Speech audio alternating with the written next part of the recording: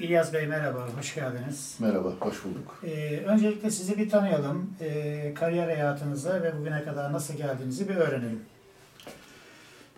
Bir sene önce İzmir'de mu, Mucize Aşk çekimleri için figüran olarak gittim. E, Daha sonra e, İstanbul'a Ağlama Anne dizisi için geldim. İki sette bulundum. Ondan sonra e, Toz Koparan setine gittim. Toz Koparan'da Yıldırım Baba rolüyle rol aldım ismini. Payitaht'ta iki sahnede çıktım. İlyas Uçar payitahtta hangi sahneler oynadı? Kadir amca. Hasta rolünde. Sarayın hemşiresi tedavi etmiş. E, Benim muayeneye gelmişti. Böyle bir sahne vardı. Daha sonra e, TRT Avaz'da yayınlanan Köklerin İzinde belgeseli var.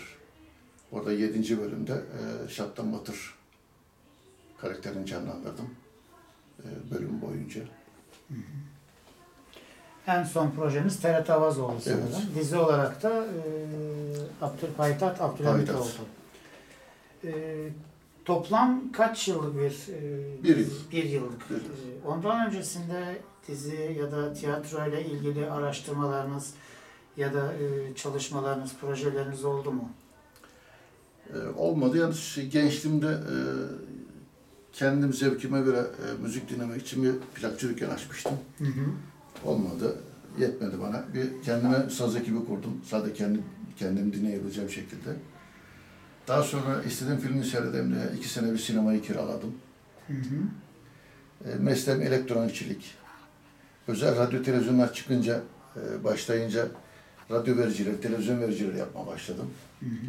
E, Balıkesir'de yerel televizyonun bütün teknik işlerini yaptım. Hani kameranın arkasında ne varsa hepsini yaptım. Hı hı. İzleyiciye gelen yayını televizyonda gösterince, televizyona varınca hepsini yaptım. Bir kameranın önüne geçmek kaldı. Onu da e, nasıl yapayım diye düşündüm. E, bir özelliğim olmalı, bir farklı bir şeyim olması lazımdı. Bende saç sakal hiç yoktu. İki sene, bir buçuk sene, iki sene önce saç ve sakal bıraktım. Ondan sonra bir ajansa müracaat ettim. İşte İzmir'deki Mucize Aşk 2 e, filmindeki figüranlıkla başladım. Orada da yine kamera karşısında rol aldı diyorsunuz. Şeyi dikkatimi çekti. Plakçı dükkanı açtım dediniz kendiniz için.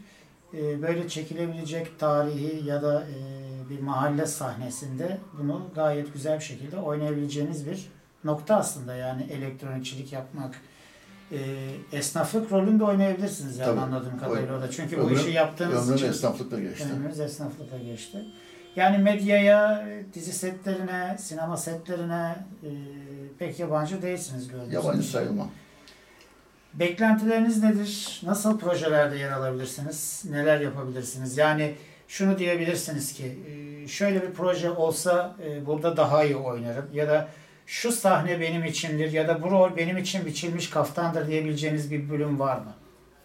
Yaşıma göre e, bir rol. Yaşınıza göre. diyor. Yaşıma göre Yani az önce bahsettiğimiz mesleki dallarda da Tabii, oynayabilirim olabilir. diyorsunuz. Tabii. Biz teşekkür ediyoruz. Ayağınıza sağlık.